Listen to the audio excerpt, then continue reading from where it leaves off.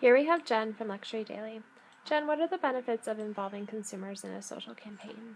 I think the biggest um, benefit of involving consumers in campaigns is that it really gets the, to show the brand in a different light in kind of a more friendlier way by including the consumer and not having it be all about the brand. It's all about, you know, them sharing the products and sharing their heritage and their identity with the consumer, who then turns around and makes it their own identity. So I think it was a, these campaigns like Marc Jacobs Daisy and um, Bergdorf Goodman's South by Southwest campaign kind of tied all of it together. They took elements of their brands and then made it so that the consumer was involved and really in itself kind of their own campaign.